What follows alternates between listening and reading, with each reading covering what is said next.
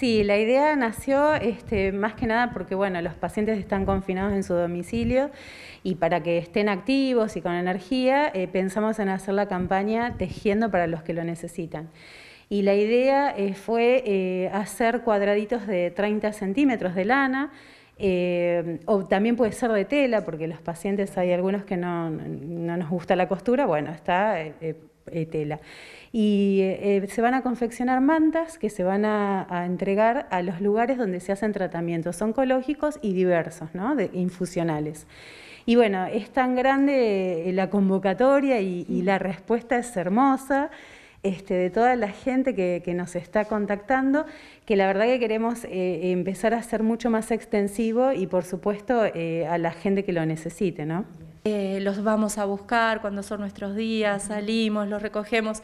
También nos donan lanas de, y entonces, ¿qué hacemos? A, las personas que no tienen lana les llevamos esa lana para que puedan tejer. Em, hay gente que dona pulóveres y entonces hay otra gente que los desteje para juntar esa lana.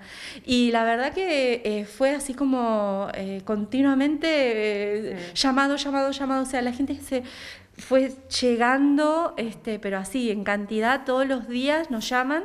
Luego se sumaron las Damas Rosadas, eh, que ellas este, también, que es una red enorme. Hoy me llamó una Dama Rosada que es golondrina, me dijo así, o sea, tienen todo un vocabulario divino, este, bueno, para, para, para colaborar, exactamente.